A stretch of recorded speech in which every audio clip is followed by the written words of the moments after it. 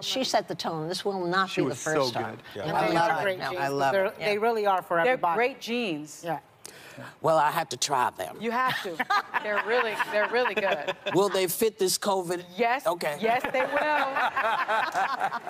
Just thought I would ask. They fit this COVID. Okay. Okay, if they fit three, no, two COVID butts, we'll be fine. Yeah, she's, she's acting like she got some behind. And when you get finished with those jeans and decide you don't like them, give them to me. I'm going to make two pairs. All right.